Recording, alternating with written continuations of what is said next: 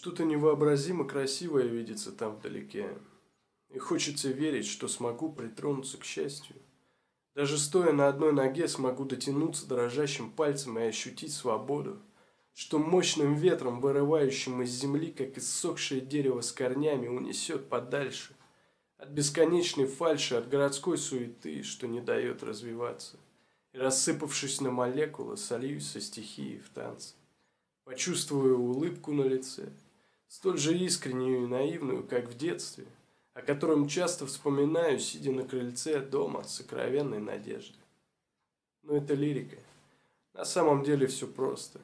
И то, что видится там вдалеке, это не сказочный остров, не космос и недалекие звезды. Это гораздо ближе. Это есть в нас самих и нами движет. Это желание. Желание знать. Желание быть, любить, побеждать.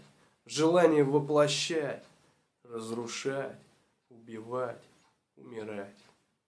Все остальное, материальное, шелуха. Оно не сделает нас ни лучше, ни хуже. Мы останемся теми, кем были всегда, потерянные дети Вселенной заблудшие души. Каждый из нас для чего-то создан, и каждый свой путь выбирает сам. Такой парадокс этого мира. Мы там, где мы есть. Мы есть где-то там. Нас очень много, но мы одиноки. Мы ищем ответы, но теряем мечты. Мы застелили свой дом дорогами, но не даем друг другу пройти.